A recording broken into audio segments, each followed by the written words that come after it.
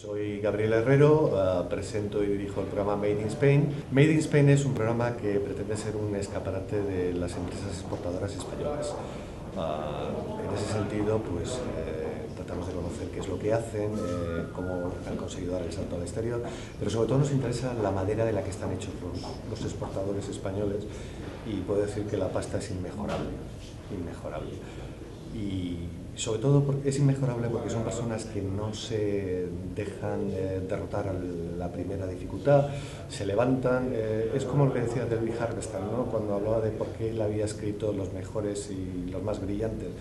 Decía, es que tienes una especie en el estómago y tienes que soltarlo. Y hasta que no lo sueltas, hasta que no lo materializas la idea que tienes, pues no, no te rindes. ¿no? Y esa es la filosofía un poco que tienen nuestros exportadores. O en términos económicos son los que crean riqueza en contraposición a los que se dedican a extraer las rentas. La idea es hacer un programa mensual.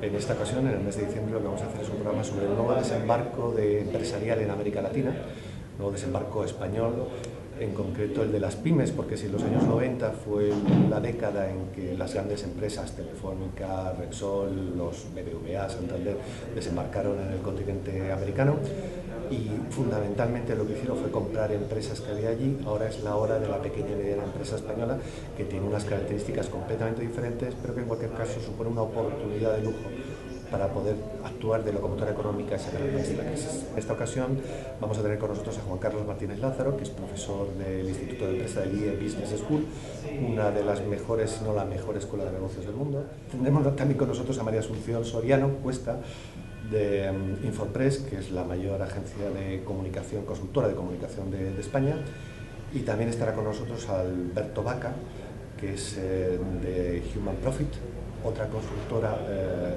que es especialista en psicología laboral.